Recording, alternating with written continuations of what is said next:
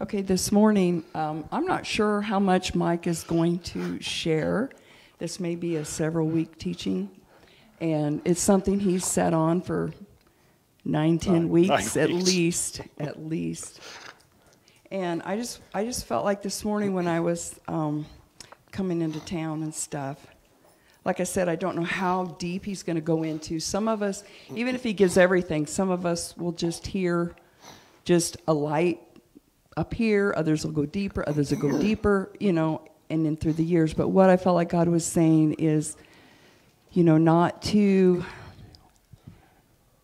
worry about it, not to judge it, not to think, you know.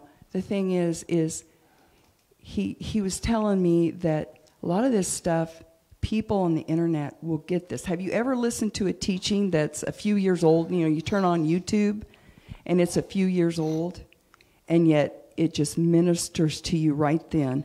That's what he was saying. As you know, Mike is a plowman. He goes ahead. He he pushes. He does things. He digs. He he brings, he seeds the heavenlies things for us. Sometimes in this body, we don't get it for a few years, literally years, before you get the understanding of what we've been trying to teach. You, you hear it, you're like, oh yeah, ah, amen, oh, God spoke to me, but you're not getting it for years. You see what I'm saying? We don't really walk in it. So I just wanted to encourage people. That's what I felt like is not only him, that it's going to be for some people years before they really hear what is being said.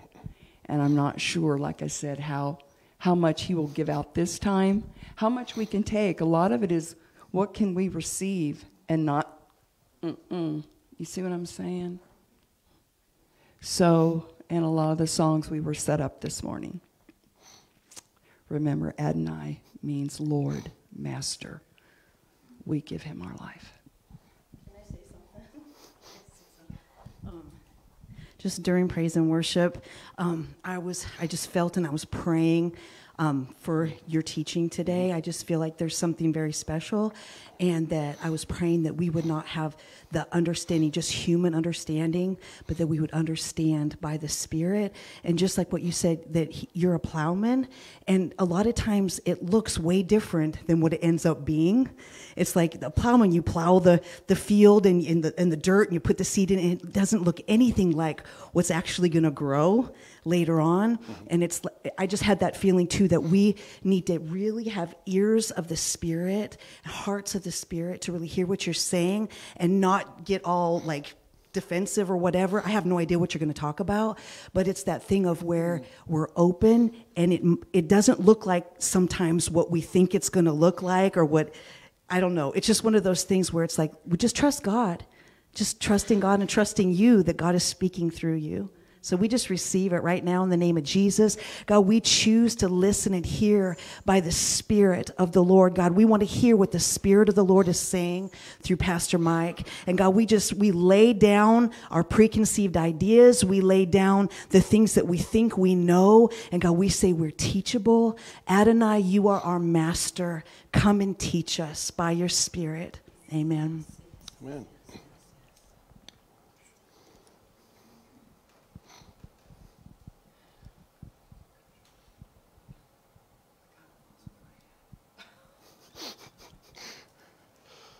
You lost it?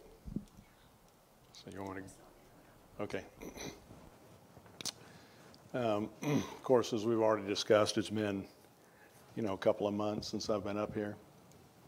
And uh, yeah, I had an opportunity when we were gone to again observe, you know, a different a different church and different church people, and and uh, as we were speaking with uh, Pastor Allen, uh, Kathy and I were asking about different people, and that weren't there anymore. And we said, well, what happened to this person? Well, they got offended and they started to work over here. Well, what happened to this person? They were, last we knew, they were going to go to, I think, on a mission trip or something like that. Well, they got offended and now they're starting to do this over here. And,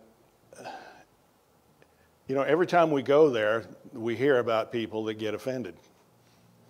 And so I just began to ask God, since I had some time off, and a lot of time off, why is it that we get offended so easily? I said, God, it doesn't make sense. I mean, we can say, well, the devil attacks us more, but it, it looks like we're just get offended and have outbursts of wrath and, you know, uh, lusts and all the works of the flesh as much as the world does. And I said, God, that doesn't make sense. You, you know, you're supposed to have a people that is supposed to defeat these things. And yet we go off the, off the wagon with anything. I mean, somebody says something, somebody looks the wrong way, somebody, you know, exposes something trying to help, and I says people get offended, and I said, well, what's wrong? And this is what I believe that he showed me. And, you know, when you get nine weeks piled up in you, it's hard to put it in a right order. You know what I mean? I've got so much, uh, at least it feels like so much, and I want to try to put it in an order that'll make it easier for people to understand. You know, so I have to yield. I know the Holy Spirit wants to do that. So I have to try to yield to him to put it in order. But you know, your flesh fights. It wants to go its own way. It wants to reveal things that maybe should be later in the teaching. So I'm going to try to yield to the Holy Spirit so that it makes it easier for people to understand.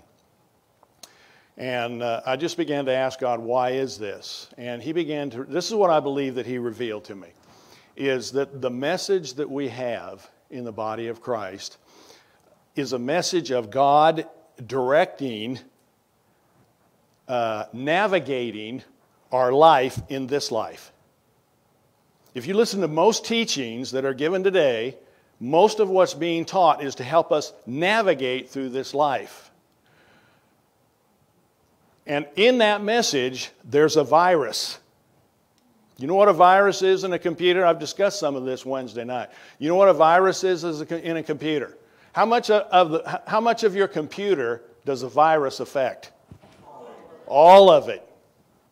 And there's a virus within that message, and, and we're not aware of the virus. Just like when you click on your computer, you click on a message or something, many times you're not aware that it has a worm or a, uh, what do they call them? A, a, a, Trojan, a Trojan horse, or whatever, or a virus or some. You're not aware that it's in there. So you're clicking on something that you think is perfectly okay. Many times it's disguised as something that you know, somebody that you know. We discuss that Wednesday night, somebody that you know. And when you click on that and you listen to it, there's a virus embedded in that message.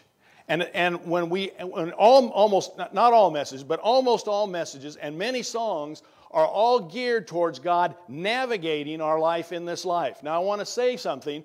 God does navigate it. I'm not taken away from that. But when that becomes the main message, you pick up that virus. And that virus is, it's all about me.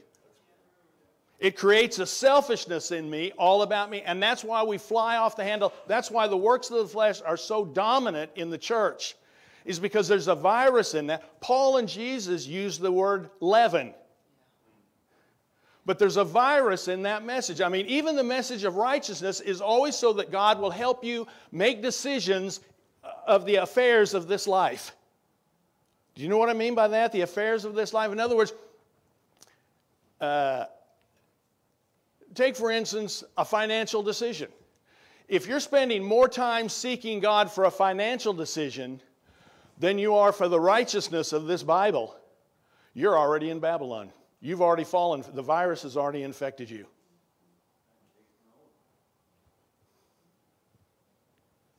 Does God want to help you in your financial situation? Absolutely. But you know what? When I read my Bible, that's supposed to be added unto me. I'm not supposed to have to be fighting and doing warfare for a financial decision. According to Scripture, if I seek the rule of God and His righteousness first, that's supposed to be added unto me. I shouldn't have to be doing warfare for healing. That's supposed to be added unto me. If we're seeking God more for these things, what? Yeah, which shows that we aren't seeking Him first. I'm, I'm leading up to something because, uh, well, I might as well say it now since, since you brought it up. See, one of the things I heard when we were gone was a message on the whole armor of God, right? You know what? You know the scripture, right? You put on the whole armor of God. You know the the the, the, the breastplate of truth. I think it is the, uh, righteousness, whatever it is. The helmet of salvation. The, the your feet shod with the preparation of the gospel. You know, and the sword of the spirit. You, we, we, heard all that, and then come to the end of it. You know, they gave all the definitions and oh, what it would mean and everything, and, and it all came down to be it about COVID. Can we use the whole armor of God to defeat COVID? Absolutely, but that was never the context of that scripture. We need to preach the context or what were they what was Paul writing when he wrote about the whole armor of God? He was those people were fighting for righteousness. They were fighting to put off anger. They were fighting to put off being offended. That's what it, that's the original context. Of, we can use it for, for COVID, I'm not against that, but we take everything in this Bible that was meant to fight for righteousness and we turn it into a navigation concept to help us get through this life.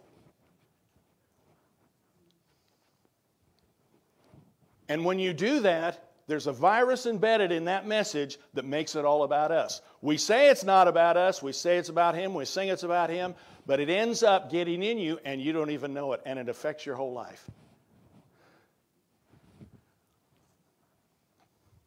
I'm not against God navigating your life.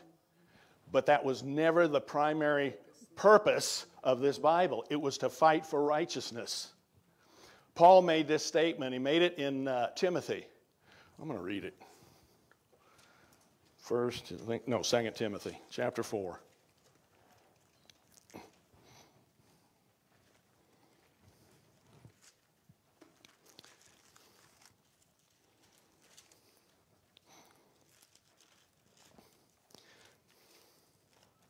I mean, think about it, folks. Gonna, let me tell you, let me say this. One of the things we heard, and I've heard this many times preached over the years, is, and this scripture was quoted at the end of the one of the end of the services. No evil shall befall you, or plague shall come near you. And everybody amens. And I'm thinking, uh, as I look across uh, our body and other bodies, every evil is befalling us, and every plague is coming near us.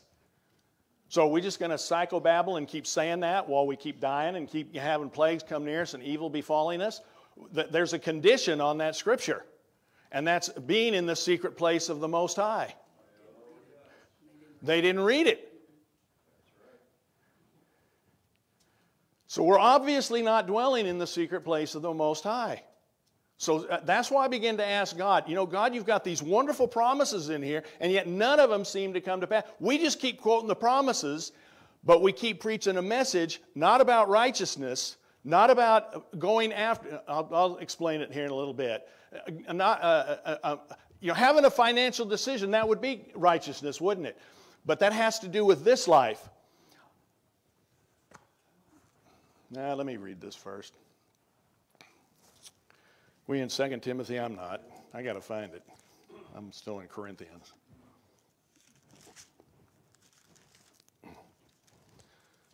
Oh, here it is. Verse uh, 16. This is Paul speaking. He says, At my first defense, no one came to my support, but everyone deserted me or abandoned me. Do you think he had an opportunity to be offended there? Why wasn't he? Why wasn't he? Why was he not offended? Think about this. He's on trial for his life. Somebody didn't say, I disagree with you, or somebody didn't take his tambourine, or somebody didn't take his flag, or somebody didn't do something. You know, look, you laugh, but there's people that get really bent out of shape about that. And somebody didn't, you know, decide to change the order of the music. He's on trial for his life. And, and all those people that said, hey, we're with you, Paul. You're it. You got the man. You got the message. You're preaching the truth. They all abandoned him. Now, what would our natural reaction be? on you. I'm going somewhere else. But what does Paul say? He said, Charge it, do not charge them. Where did he get that attitude? That took the whole armor of God. Yes. Because for him, look, look, for him to have that attitude, He's not after, you know, when you and I are looking for a financial decision, we're looking for a financial decision to benefit our life in this system. In other words, when you're seeking God for a new car, you, let's say you, you, you need a new car, right? So you're going to ask God for a new car. That new car is the prize. What prize did Paul get for not charging, for asking not to charge him with that sin? What prize did Paul get for not being offended? In this life. You give honor to God's name, but where is the materialistic blessing that you get for not being offended? It was sure it was spiritual, but you say it's spiritual, but can you put your finger on that? Can you tell me what, what reward are you going to get for that? Give me, a, give me a, something that I can materialize with the, in this life. What kind of reward are you going to get for not getting offended? You don't know because it's the unseen realm. And so people will fight and do warfare for those types of things. We'll do warfare against COVID like crazy, but we won't do warfare to not be offended. Come on.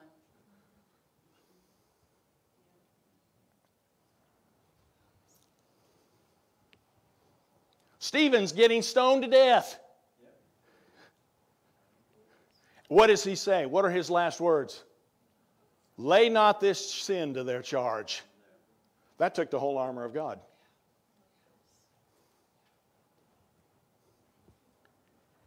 It was Paul and Silas that were in prison in the stocks. That what are they doing? Singing praises to God. They're angry and offended at God for letting them get in that situation, right? What are they doing? How, how could they do that?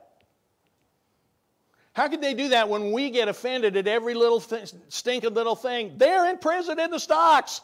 They weren't even trying to get out. Yeah, even when the doors flung open, they didn't go out. What caused them? They had to have the whole armor of God. John and Peter are beaten for the name of Jesus, and they come out doing what? Rejoicing. Get them, God, get them. Rejoicing they were counted worthy.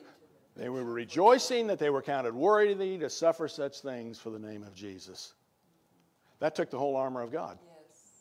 They weren't trying to buy a new car. Oh, let me let me put it in there. They weren't they weren't trying to decide what camel to buy. What business decision to make? They were fighting for righteousness. Now, making the right decision, that's a part of righteousness. Getting the right car, that's a part of righteousness. But when we've crossed over and we're fighting more for the materialistic things than we are for these, these, uh, what do you, these spiritual things, these soulish things, we've already crossed over into Babylon. And if you listen, if you listen to most messages, it's all about how God will direct and navigate your life in this system. God wants to end this system and bring a new system. Have you ever heard of this? Hope you don't get mad at me now. We're going to win our, we're, we're, we want to win our city.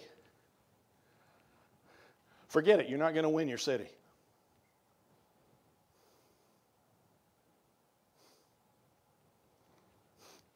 You're not going to win your city unless you disagree with Scripture. Because what did Jesus say? Where do most people go? Way of destruction. Most people go, what? Broad is the gate, wide, wide is the gate, and broad is the way that what? Leads to destruction. Narrow is the gate, difficult is the way which leads to life. Jesus said that. Not me. Jesus said that. So that tells me that the majority of the people are going to go the way of destruction. Now, how are you going to win your city? Oh, yeah, but in 1909, the Spirit poured out on such and so England, and the whole city and the bars closed down. That was an experience. This Bible wants to produce a remaining fruit. Where are those cities now? It's like World War I. World War I was supposed to be the war that ended all wars. How'd that work out? How did that work out?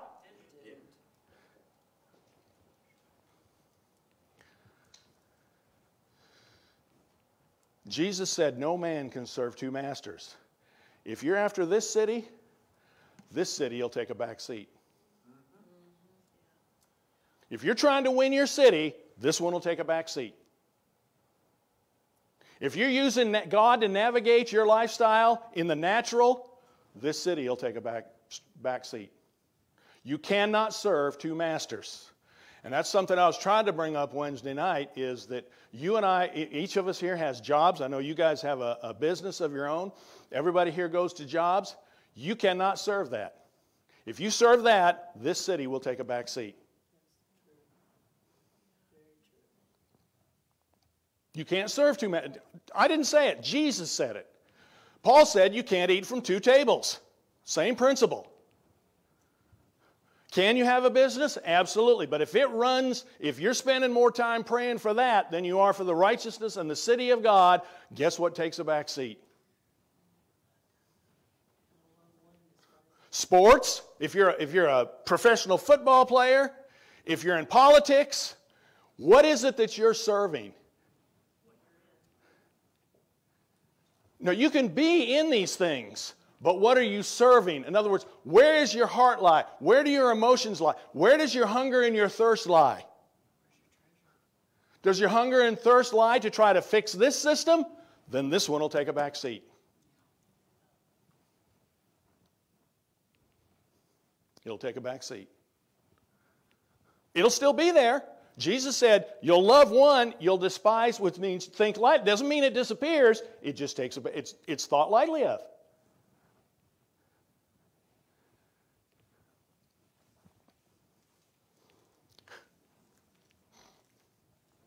See, Paul writes this, and he says, No one engaged in what?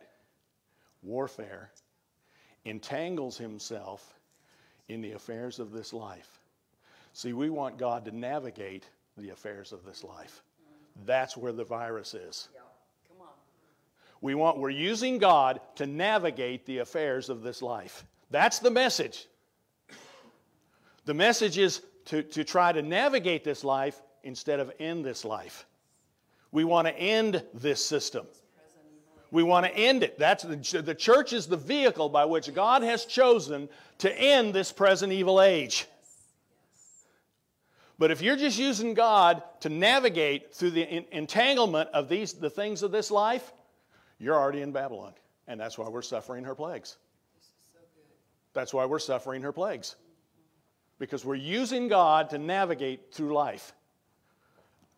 Again, does he help us? Absolutely. But if you look at most of the navigation in here, it was to keep people from being killed from persecution.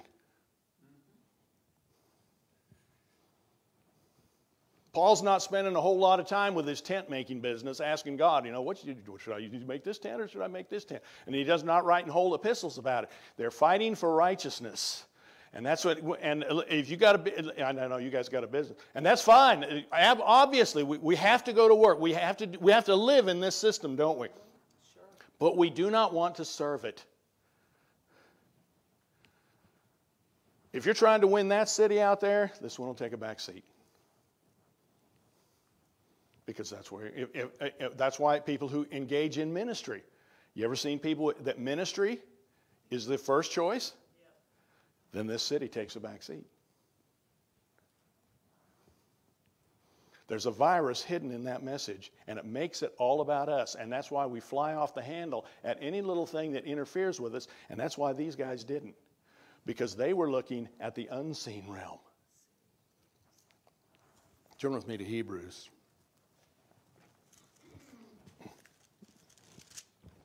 All of these, most of these scriptures I've, I've hit before over and over again.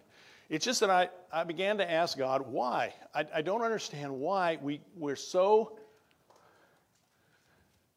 sensitive to things. Well, Kathy says immature, that's right. Why haven't we grown up? We've been in this a long time. What is going on?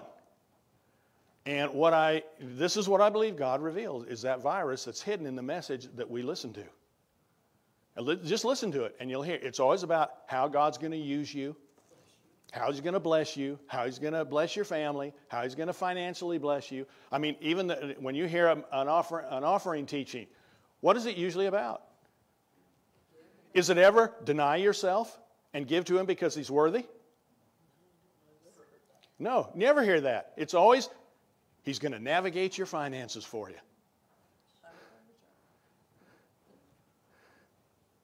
Always. And like I said, yeah, I'm not saying that's not true. I'm just saying that's the message that that's what it has become. But that was never the intent of why Jesus came. Didn't Jesus didn't come just so he could navigate your life through this system and make it better for you and make, have you make the right decision. Does he want you to make the right decisions? Absolutely. You know what he came to do? He came to change who you were.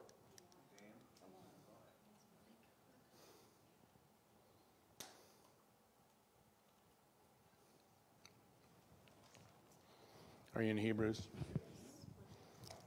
11. I'm going to read. You can take any of these scriptures before what I read. We're talking about Noah and Abel and Enoch.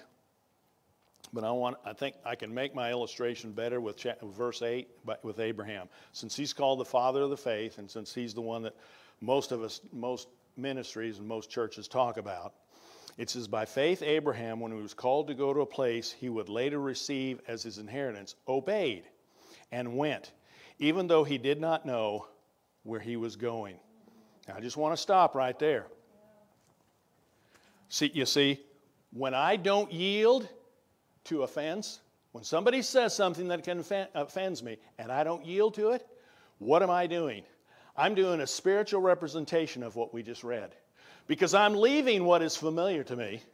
I'm leaving my getting offended. That's familiar. My flesh likes that.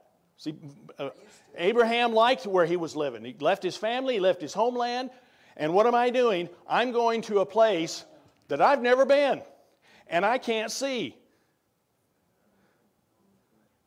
That's a promised land. But that, that, see, this is why it's by faith. And Jesus comes and he says, Will he really find faith on the earth? I don't think that we have got faith yet. We have, we have faith for Him to direct our finances sometimes and our cars and our uh, uh, decisions in, in health and things like that. But when it comes to, uh, I got to read this now. Uh, Galatians.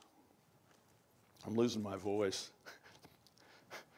I got rookie voice now after being gone nine weeks. it's terrible. Chapter 5, verse 19. Now, the works of the flesh are evident, which are. Now, listen to these things. This is what fighting for righteousness is, is this is what we want to do away with. Adultery, fornication, uncleanness, lewdness, idolatry, sorcery, hatred, contentions, jealousies, outbursts of wrath, selfish ambitions, uh, envy, heresies, envy, murders, drunkenness, revelries, and like, of which I tell you before, just as I also told you in times past, that those who practice such things will not inherit the kingdom of God. And don't fool yourself into thinking that we don't practice those things. Because if you yield to those things every time your button is pushed, it doesn't matter if you know they're wrong, and it really doesn't make any difference if you come back later. I mean, it does. I shouldn't say make any difference. It's, it's good if you come back and ask for forgiveness, but if you keep practicing those things, you won't enter into the kingdom of God. It doesn't matter what you sing or what you say or what you pray or how much you confess the word. If you practice those things, and practice means that when your button is pushed, you yield to it.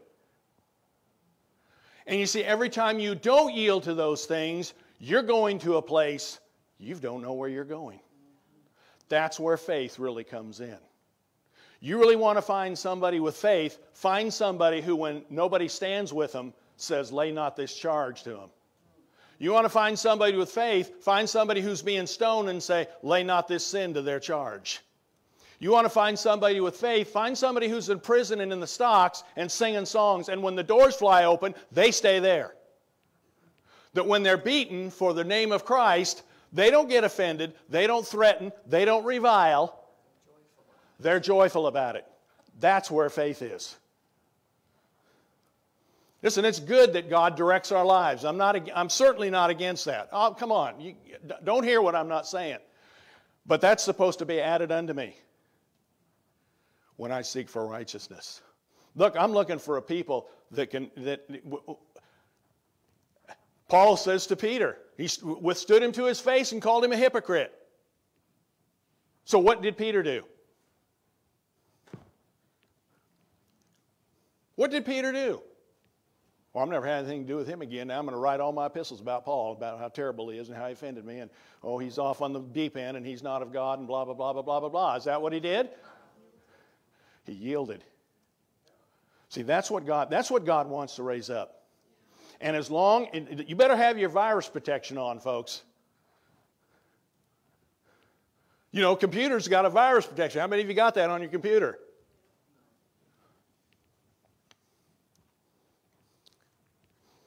You better have your virus protection on because if you listen, just it's there. It's embedded in there. It's the, not the virus. I'm talking about the message. Listen to how it's preached, and it's always about how God is going to direct our lives in this system. How many messages do you hear about trying to bring this city in right now?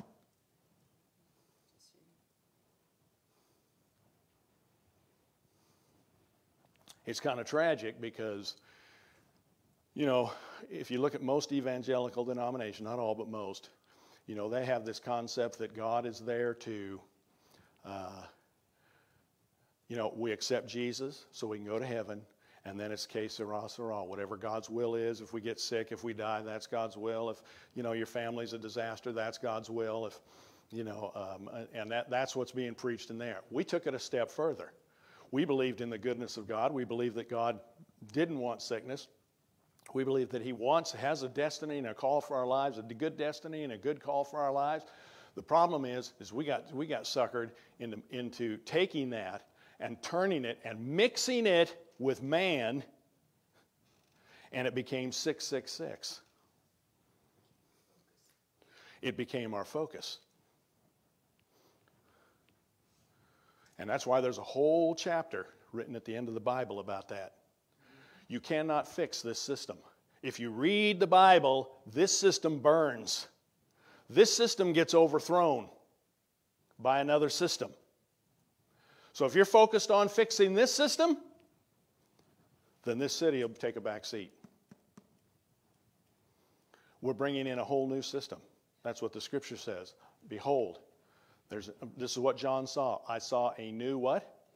And a new what? And a new earth? Oh, John didn't say, I saw a fixed heaven and a fixed earth. No, he saw a new heaven and a new earth. And this city burns, and the merchants of the earth weep at her burning. And this city gets overthrown Babylon. What's it get overthrown by? What's it get overthrown by? It gets, it gets overthrown by another city that you and I have been called to bring in. That has to be our focus. And when we set, you know, the Bible says this it says, Whoever loves God's law shall by no means be offended. There must be a lot of people who don't love God's law because there's an awful lot of offended people. Why? Because when you have your mind set up on high, well, let's finish this scripture here in, in uh, Galatians.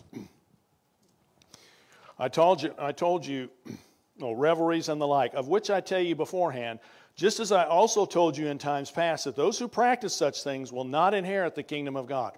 But the fruit of the Spirit, great scripture, is love, joy, peace, long suffering, kindness, goodness, faithfulness, gentleness, uh, self control. Against such there is no law. Listen to this. And those who are Christ's have crucified the flesh with its passions and its desires. You know, there must not be a lot of people who are Christ either because I don't see a lot of this being crucified.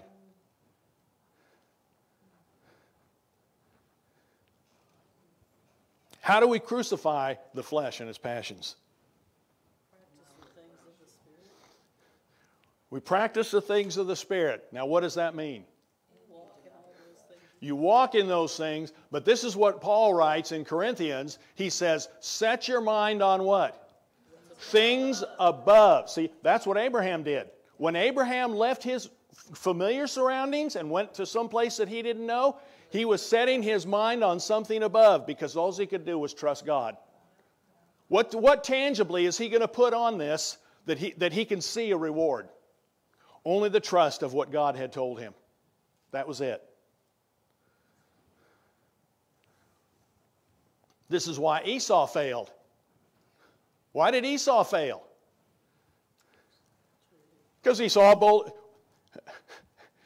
Why trust God in my inheritance that I can't see when I've got a bowl of stew here that I can? That's the comparison that we're making.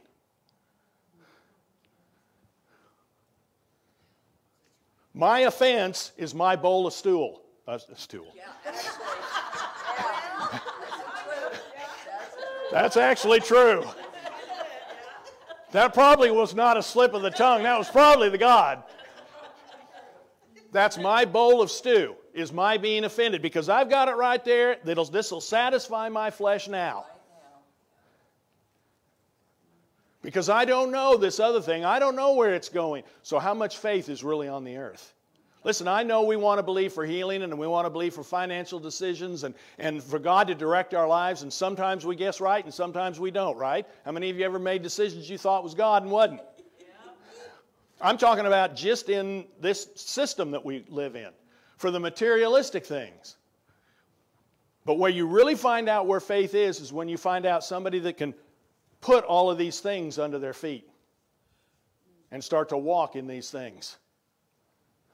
And until we change that paradigm, the church is still going to be offended, angry, contentious, jealous, competitive, you name it, fearful, you know, yeah, sucking their thumb until you recognize this system can't be fixed.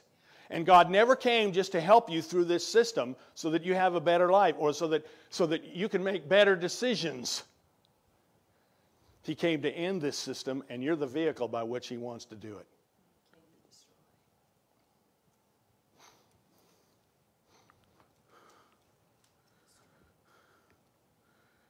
That's why Jesus never messed with any government.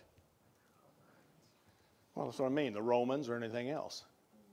You know, we've seen throughout history people try to fix this system. This system is unfixable. It has to be changed. It has to become new. It has to become something different. And until we get that in our heads and we start to serve the kingdom of God and His righteousness, we'll continue to have the virus. And it'll crop up. You know, when you use your computer, how do you know you got a virus? it doesn't work right. Right? Right. And so when somebody pushes your button, you don't work right.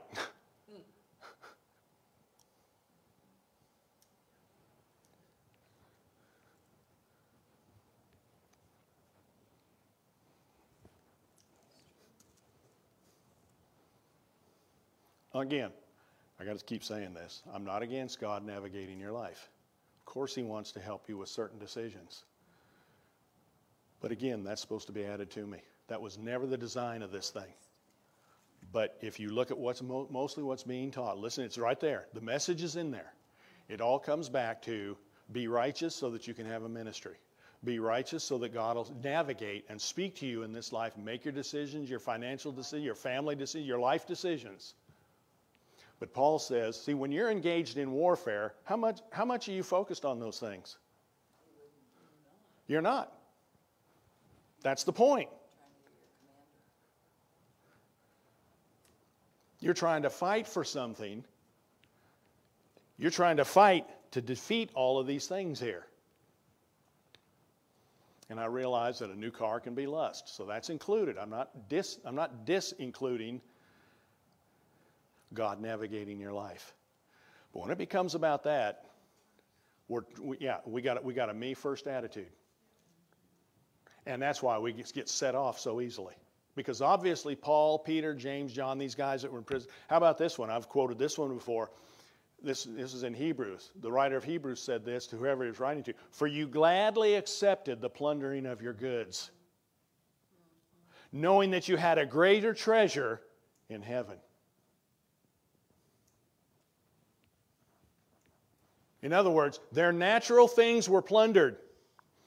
For, and they were, they, it says they gladly accepted it. You know they weren't Americans. They gladly accepted, now they were, they, they were losing it for the kingdom of God, not just some robber or some thief or something like that. They were losing it for the kingdom of God. And it says, knowing that you had, in other words, see, there's faith. Because they had faith in something that could not be seen. And they gave up what could be seen, and they had a glad attitude about it. So we'll fight like crazy, and that's what I mean. This is all about the whole armor of God. You can use it for that. You know, so many times we take scriptures out of context. Um, and that's fine because that's the goodness of God. He made it cover a whole lot of different things. But the problem is, is we never preach the context of the scripture. You know, I, have brought up many times where the scripture says he was manifested to destroy the works of the devil. Every time I've heard that preach, it's about healing. But that's not what the context was. The context was to destroy sin. You can use it for healing. How about this? God is no respecter of persons. What have you ever heard that taught about? You get something everybody else gets. What else? Ministry, healing. Can you use it for that? Absolutely. But what was the context? Paul was writing and said, anybody can get the revelation of who Jesus is Man, it's not human origin, and it doesn't have to be taught by man. You can get it from the Old Testament. That's the context. So that at least needs to be preached first before we go into all the other stuff.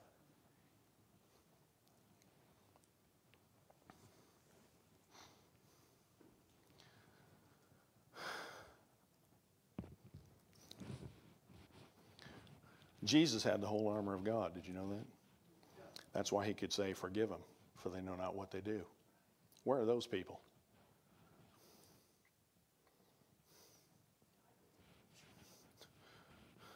See, that's what faith is. Because you're going somewhere you've never gone before. I mean, all we have to do is ask ourselves this.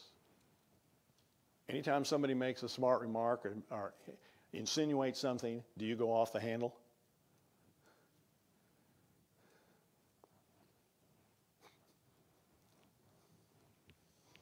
That's the familiar. Next time, don't and go somewhere you've never been before. I don't know what the reward will be. We know it's the life of God, but you can't, there's no tangible thing you can put on that. This Bible is about denying ourselves. Not denying to be, poor or to be sick or to be any of those kind of things. It's denying the attitudes that the world has. And that's why I was asking God, why do we have the same attitudes they have just as bad? I mean, every time we go out there, where's this person? Oh, they got offended and they, they left and they're going over here now. Or we got offended and they're starting their own little work over here now. Lost a fourth. I don't get that. There's something, there's something wrong with that. I'm sorry, but there's something wrong with that. I mean, I know you're going to lose people.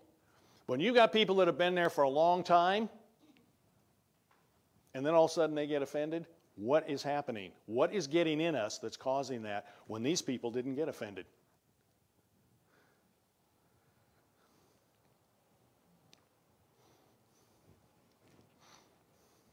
Kind of quiet in here.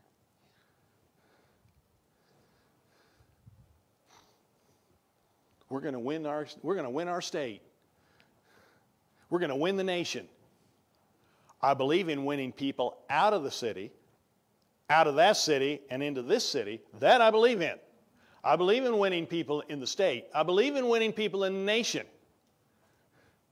And we got a song, I think, that says, I desire to see America. Something like, what's the next verse? Something about as a nation living for God. Yeah, well, it's a nice desire, but it ain't never going to happen. Well, you can say, well, yeah, but with God, man, things, God, all- God, all things are possible. But Jesus said, few who find it. Jesus said, most go the way of destruction. You might be able to get your whole city in on an experience. You know, said they closed the bars down. I'm thinking, yeah, so what? Jesus was a bartender at a wedding.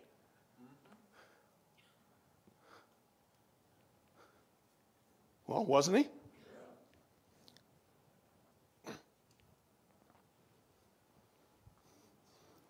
People, people so want, he made it though.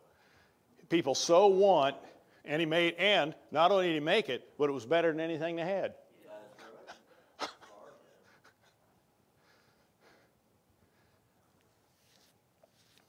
People are so intent on trying to fix this system.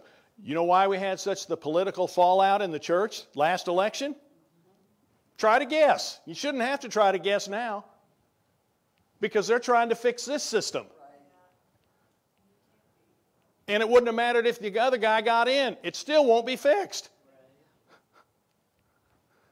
May not have gone down the tubes as fast as it's going, but it wouldn't have been fixed. That's all we're trying to do is slow it down.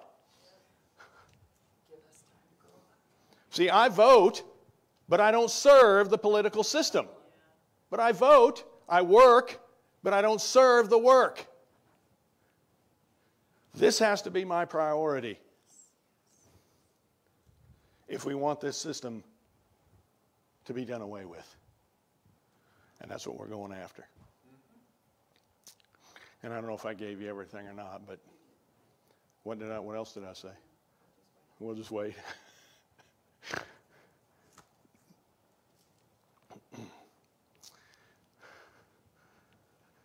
Maybe this is all he can about handle for today.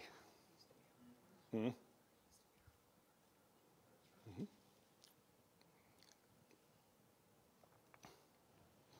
Any questions?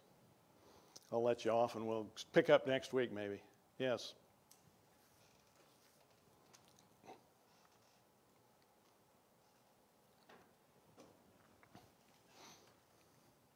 I was reading in um, 2 Timothy 4, and uh, you read 16, I read 17. It says, um, But the Lord stood by me and strengthened me, so that uh, I can't read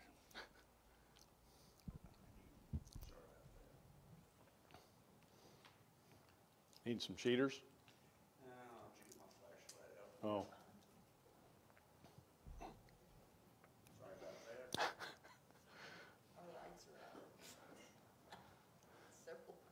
No, they're not.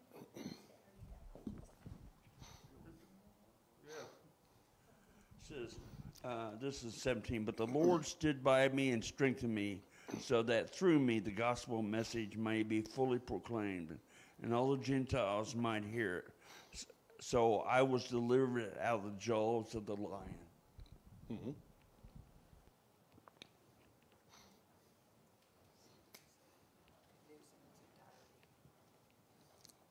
Yeah, Kathy said, this is what she shared with me this morning, the good news in its entirety.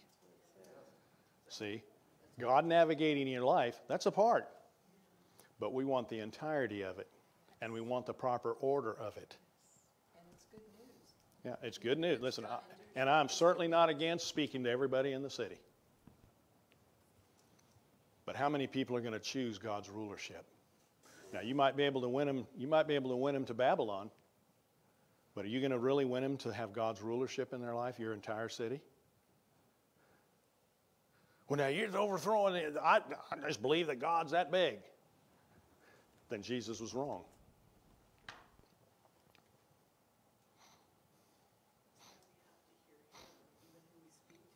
Sure. I'm not against speaking to people, laying hands on them, getting them healed. You know, I had a guy tell me here several weeks ago, I was really, I don't even remember this, that he used to work for Hy-Vee a long time ago. And I went out to do something at somebody else's house, and he was working out there, and he had a helper. And all of a sudden, he just, I'm sitting there and I'm looking at him, and all of a sudden, he turns to this helper and he goes, This is the reason I've got Jesus as my Savior. And I said, What? He said, You're the reason I've got Jesus as my Savior. I said, I don't, I don't, I kind of, you know, said, he said, Well, don't you remember? He said, Back at the store, I had a bloody nose. And he says, You prayed for me and it stopped bleeding. And he said, That night I asked Jesus into my heart. He says, You changed my life. And I'm going, Yeah, sorry, I don't remember. I couldn't remember any of that. You know? And so I'm not against speaking to people in your city. And I'm not against bringing this city into your city. Yes, yes. But you, it's going to be very difficult to find people that really have faith for the kingdom of God. And if you focus too much on winning your city, what are you going to do? You're going to compromise and do things and mix with that city to try to win them. I guess I'm, I know it, it's a narrow message, folks. Very narrow message. And that's why he said not to engage in the affairs of this life. Why? Because then you'll end up serving them. We're after this city.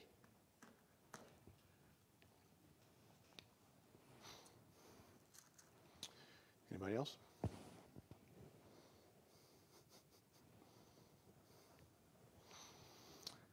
Okay. Nothing's coming to me, so there must be more because Kathy knows it and I don't, because I've shared a lot with her. And so this must be the end here.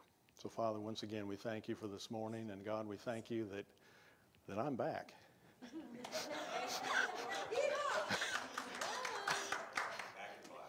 I don't know how many back in black. Yeah, I don't know how many people are glad I'm back, but I'm glad I'm back. So, Father, we just thank you for the word that went forth this morning. Open our eyes.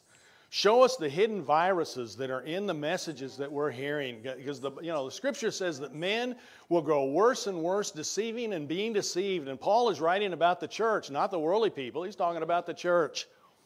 And God deceived means you think you're doing the right thing. You think that you're doing the kingdom of God thing, but you're actually doing wrong. And so, Father, let us fight for this city and let us, let us do warfare against these works of the flesh. Let us do warfare to find your rulership in our life. That's what we want. We want you to rule, not just in the church service, but when somebody's pushing our buttons. That's when we really want your rule to come forth. We wanted to learn how to deny ourselves. It says that it's, we just read, it says, those who are Christ put off these things. In other words, you're not going to do it for us, you already have. We have to put it off. And we have to recognize the minute somebody's pushing our button, that's when we want your rulership. That's when we want to deny ourselves. That's when we want to leave our familiar country and go to a place that we've never seen before. That's where faith is. Will you really find faith on the earth? God, let us be, let us be some that you can find faith in for crying out loud.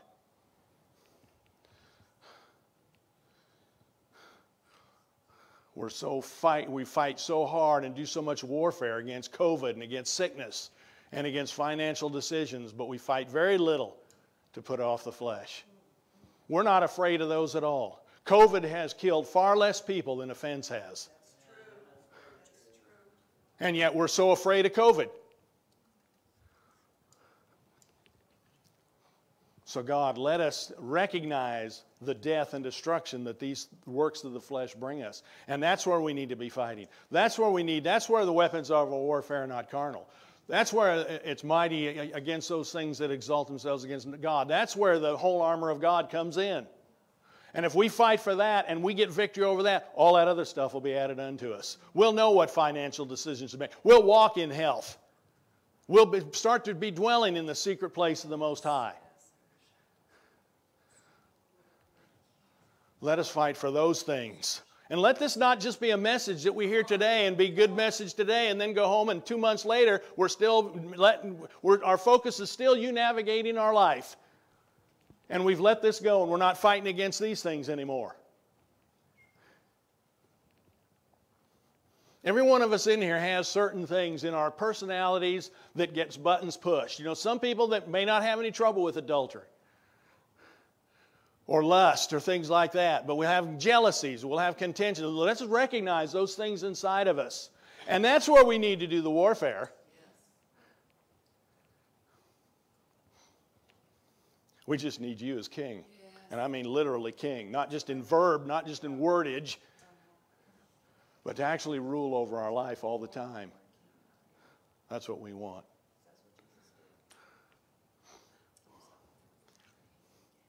Yeah, he was the guy that had faith. Look at how many times he could have got offended. God could find faith in him, that's for sure.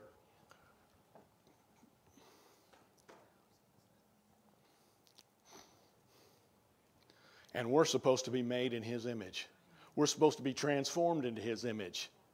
Then let, let's start doing warfare to do that and not you know not listen i'm not against praying for a new car or what car to buy or anything you know that or what financial decision to make. But we make such warfare out of certain things like i said that are supposed to be added unto us. And god we need you to be our king. Our full focus. We need this city to come. We can't love the american lifestyle so much that we want to put it off the Bible says for us to hasten the day. Yes. Well, how can we hasten the day? By putting these things under our feet.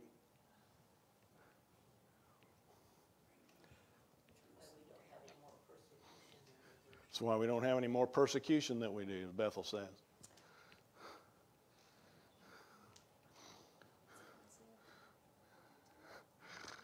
I know I'm kind of in the middle of a prayer, but I'm also still preaching.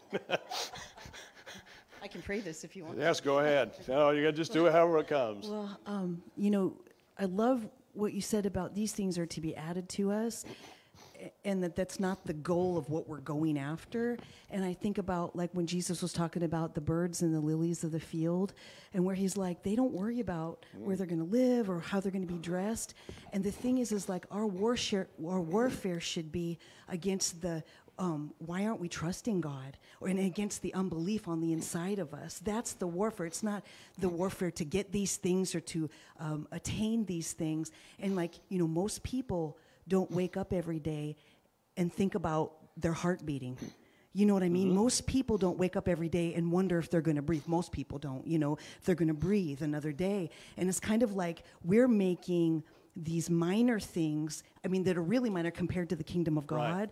we're making those the major things, even though they're important. It's important to breathe, it's important for your heart to beat. Sure. But it's like these are things that are being added unto us as we take care of our body, as we live our lives. Yeah. You see what I'm saying? And it's like, I love that it's just this tweak because God's not taking away. No. He's not no. saying, no, I don't want you healed and I don't no, want you. Absolutely it's, not. it's just tweaking it where our focus is in a different place. And these things, it's like goodness and mercy are supposed to be chasing us. You know, I mean, I mean, they are, but like we're too busy chasing after that kind of stuff instead of we're, we're chasing and we're warring on the wrong things. And I just, I love this. It's just that little tweak where God's like, you've got like the ingredients they're just kind of mixed up and yeah, he's tweaking yeah, it it needs to be yeah, that's exactly right it needs to be placed in order the proper order so i'm not taking anything away from from any of those things that that people go after God for. I'm saying I'm trying to put them in order. See? And we have to go after the city. And see, this is why so many people get offended at God, is because they're told, and God does want to heal them, but we're not getting healed. See, you know why? Because we're not fighting for the right thing. We're fighting for healing, we're not fighting for righteousness. We're not fighting for righteousness. We're fighting, let me put it this way we're fighting more for healing than we are for righteousness. It's not that important because we can't see the reward of righteousness. I can see the reward of healing. How many of you ever been health, healthy before? So you know what that is. So when you're sick, you've got something tangible to go after. But when you put these things under your feet, all you have is the trust of God that there's going to be a life in you doing what going someplace where you've never been before. That's all you have is the trust. And that's why he says, Will he really find faith on the earth? Because you can't find many people that will put their trust in him and lay down and deny themselves these works of the flesh.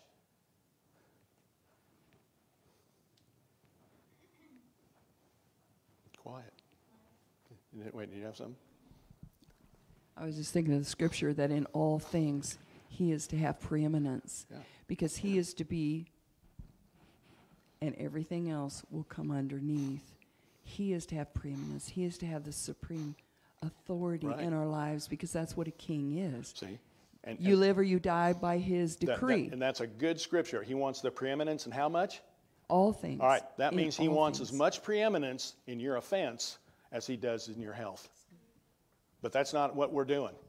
He wants as much uh, preeminence in your jealousy as he does in your finances. Thank you. Well, how'd you know I was going to? You guys are just like, it's, that really helps me a lot. Yeah, boy, it just left me. Yeah, he wants as much preeminence in that. And when we're fighting for preeminence in our finances and our health, more than we are in our offense and our jealousies and compet- and all those things that we read in here, when we're fighting more for that, you're already in Babylon. You've already got it out of order. You've already put man first because finances, that's man stuff.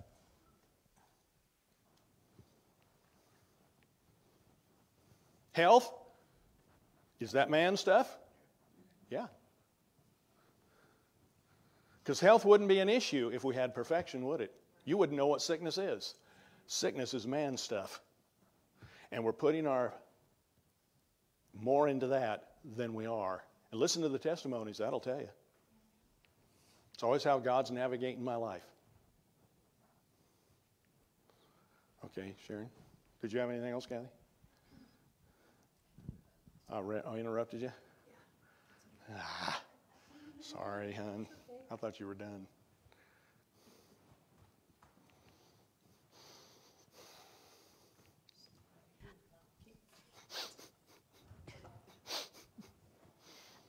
A lot of times when people are quoting that scripture, seek ye first the kingdom of God, that's where they stop. They go, seek ye first the kingdom of God, and all Mm-hmm. these things will be added unto you. No, he says, seek ye first the kingdom of God and his righteousness, and all these things will be added unto Mm-hmm. Right. you. So it's his righteousness. It's like you said, it's overcoming all of those other things, and then everything else comes behind it. It just, it just, you know, it just hit me when we were gone, as, especially going to another church, and, and then also being around people, you know, in motels and things like that, and thinking of, of the past year and a half since this COVID thing has hit, how much fear it has put into people, and people are terrified of it. And I'm thinking, you're terrified of that, but you're not terrified of being offended. I don't get that. See, those are people that are in, those are people who have a mind, a man-centered mindset. And I'm talking about church people. These are people that go to church. You're more afraid of COVID than you are being offended. You're more afraid of COVID than those works of the flesh. If we could, if we could get rid of those, you wouldn't, COVID would be no problem. Then the plague wouldn't come near us.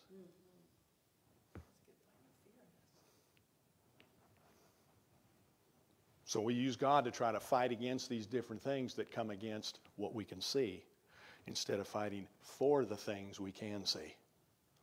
You see what I mean? I'm not against, look, look again, don't hear what I'm not saying.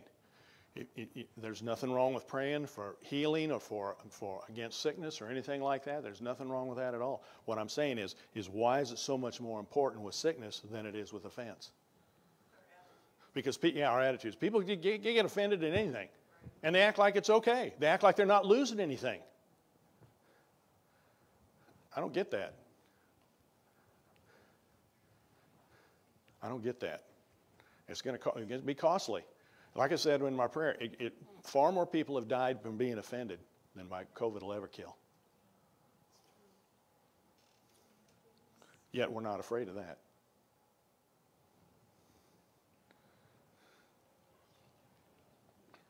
Amen. Father, anybody else? We just thank you, God. You didn't get anything. You didn't, that didn't come back to you about the preeminence. That's where you were. I just had more stuff about Abraham than the last year. I get, Yeah. Yeah. Well, I just saw that in Abraham. Noah did the same thing, and Abel did. it. You know, Abel gave an offering of his first fruits. What reward was there? I mean, what reward? In, what, in other words, did, did he give that so that God would give him a hundredfold return? It blessed his business. It blessed his flocks. He just gave it because of who God was. See, and that is the. Um, that's where we're missing it. You know, it's almost like we have to have a. I mean, even, even when you see people on TV, when they're going to give you something, they always got to give you some nightlight or some angel thing or some, you know, book or something like that to give you a reward, or people won't give. We've trained people now to think that God has to give me a reward or he's not worth serving. That's what we've trained. That's, that's the virus embedded in the message. That's right, That's right. come on. You're training people in those practices.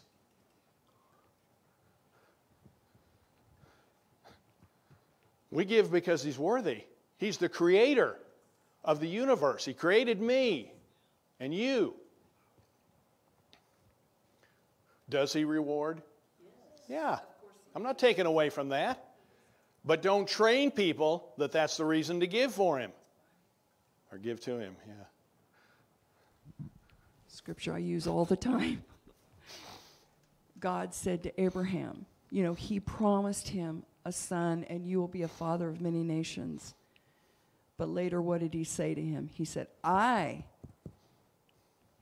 am your shield of protection, and I am your exceeding great reward.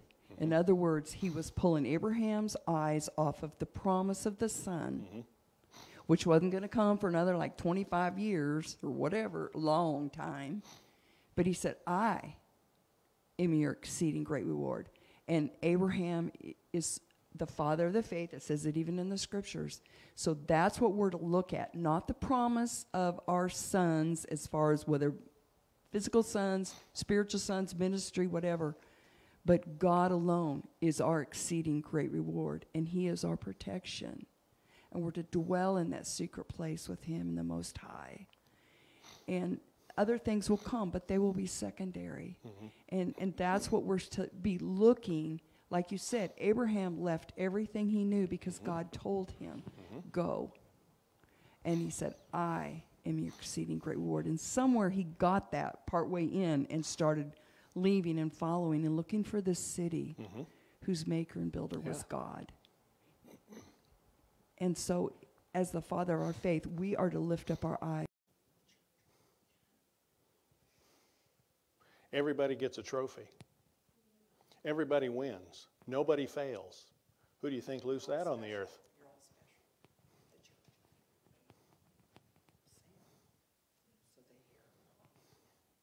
Church did. Everybody's saved. Everybody's going to heaven. Everyone's a child of God. That's why we now have everybody gets a trophy, nobody fails, everybody's a winner. In reality, what's the truth of that? Somebody comes in last. Somebody has to, and it must be not us. Somebody fails, but we're not. But we're going to give everybody a, tro- a participation trophy. That, that, where do you think that came from? That's just about what the church has, has produced. Is people you go to church, so you get a participation trophy. And you have nothing to whip Y- You haven't, you haven't, yeah, I know, but you haven't participated in anything other than to show up. And that's what they get, a lot of times, they get a trophy for. Just to show up. Just be on the roll. You get a trophy. Yeah, we had a guy that did that. You know that? He never came to church, but when his 50 years was up, when his 50 year pin, he came to church and got his 50 they gave him his 50 year pin. Yeah, he never came to church. He was never there the whole time I was there. But he came on his 50th when he got 50 years because he wanted to get that pin. And what do you think we've loosed on the earth? Yeah, boy, no kidding. See, the voice of the bride and the bridegroom, see, this is what gets us, is in Babylon. That's, that's tricky because we can be in Babylon. We're still hearing the voice of the bride and the bridegroom. But there's going to come a time when that voice won't be heard anymore because God, Jesus said it. He said, The voice of the bride and the bridegroom will no longer be heard in you anymore. So evidently it's being heard in her right now. And it's because we hear his voice of the bride and the bridegroom, we think, that, we- well, then Babylon is God. It's the focal point of what we're focused on, folks. It's where, what are you serving? You can only serve one master. Are you serving this city? or that city?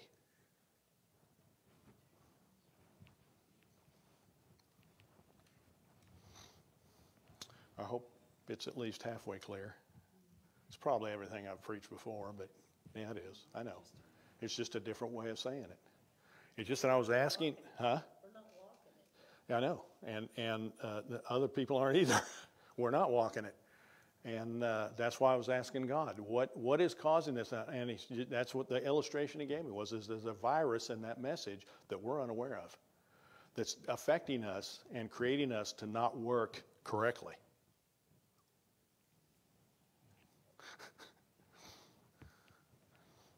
just a little bit of uh, warning, tweaking, whatever. Listen, you know, we all have our favorite ministers one, two, three, six we mm-hmm. watch online or whatever. Listen to what they say and take heed. The warning is don't look at them like, well, you know, blah, blah, blah. They don't know. Now we know, and they're all teaching error. You ask God, open up their eyes. They love you. They're walking with you. This little piece right over here, they've not seen yet. They don't know. God, open up their eyes because these people have a voice to the nations. And we are called to pray. You know that in this church. So as you listen to the people you love, be aware and be praying. God, this virus, let me see it and push against that in my life. But God, I'm asking that you open up their eyes and open up their heart so that they let that go. And you remember in Revelation, he says, he says, rejoice, you prophets and apostles, because Babylon is falling. Mm-hmm. And that's what we're called to do is tear down Babylon, expose it, seed the heavenly so we can get rid of it and in this present evil age, which is Babylon. It is. Yeah. That's what this present evil age That's it. is. It's Babylon. Mm-hmm. Spirituality, God mixing with the demonic and ma- into man. And that's why Jesus said, I've come and I've laid the axe to the root of the tree of knowledge of good and evil. Mm-hmm. He laid axe to that because that is Babylon.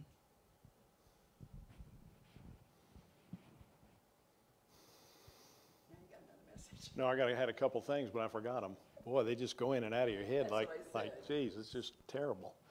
Um, well, just ha- yeah, I just have to let it go because I, I don't think it's going to come back. It got pretty close there while you were talking, but then it left because I was listening. I was listening to what you said, and uh, anyway. Um, like I said, it's, it's basically the same thing. I'm just saying it again in a different way. And yeah, it is stronger. You know, I've spoke against some things that probably a lot of people think are um, sacred cows. You know, win in your city. You know, um, I guess I couldn't say God couldn't do that, but the way I see people trying to win their city, not going to happen. Not that way. It looks good and it sounds good, and that's see. Oh, that's what it was. Thank you. What does a virus in your computer do? Infects, Infects, but what, what's it what's it designed for? What's it trying? What's it trying to? They don't, what? It does what? It takes information. Isn't that what most of them do? Is they take information because what are they trying to take from you? Are they, are they trying to take something from you? What? Your identity. Your credit card numbers, trying to take your finances.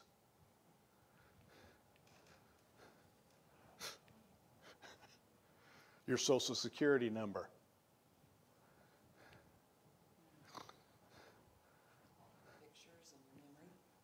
your pictures, your memory, so that somebody else can use it.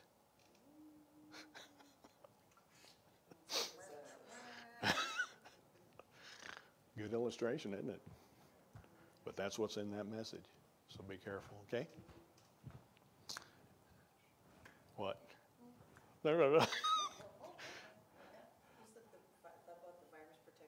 Yeah. better get some virus protection. And it's like on a computer, I guess in the old days, because I might have a different computer, but anyway, where if a virus or suspected virus, they become wah wah wah, you know, and it's like we should we should be praying for that discernment of wah wah wah Yeah. for that discern, you know, that virus. What's the antivirus? There you go. Uh, Jesus, the Holy Spirit. Get your antivirus on, folks. Because many times we open ourselves up and we don't realize, because, you know, like Kathy said, these people, uh, uh, look, I'm not preaching these things because I think people, everybody's out to get you. A lot of them are, but no, I think there's some good people out there. They just haven't seen that this city can be brought into this life. They're still looking, they're still thinking that navigating, God navigating, that He's to do that until He brings the city. See? But we know we can bring it now. And so I'm teaching this as a forerunner to what's going to be coming. This message will be common. It's the new era. It'll be, yeah, it's the new era. It'll be common. People will fight against it now. They'll criticize me, write letters about me, threaten me, kill me, blah, blah, blah, blah, blah, blah, blah. But this will be in 20, 10, 20, 30 years, this is where we're headed. You know, and I'm not saying I'm the only forerunner. There's probably other people that are preaching this, I hope, that are preaching this as well. And it's going to become mainstream. Wait and see. Then wait and see. It's coming. Remember the new era is an old one dies. Yeah, new era, old one dies. Scream. Screaming. Thank you, Father. Amen. Hurts so good. If you're on the right side of it, it is exciting. What? You're on the right side of it, It is. It is. It absolutely is. I can see it going in some of your eyes. I mean, I know it's it's it's it's life to you because I I I keep this is the most difficult thing for me because like I was telling Kathy, huh? I don't know. It's counterculture. I'm always counterculture. That's what makes it so difficult on me. You know, if I was preaching culture, great, but it's counterculture. And so it's always good to see a group of people, when it goes in their eyes, they're recognizing what I'm saying. That I'm not dissing the people in this system or the ministers. Some I do, because I think some are crooks, but I don't think all of them are. But I, and I'm not dissing healing. I'm not dissing God. Of course, He wants to help you with your car and your finance. He doesn't want you to make the wrong decision. Come on. He's good in everything. But I want to go beyond that and put that on the that's added to me. Thank you, God, that that's added to me. This is what I want to fight for now. I want to get rid of these attitudes that I've got.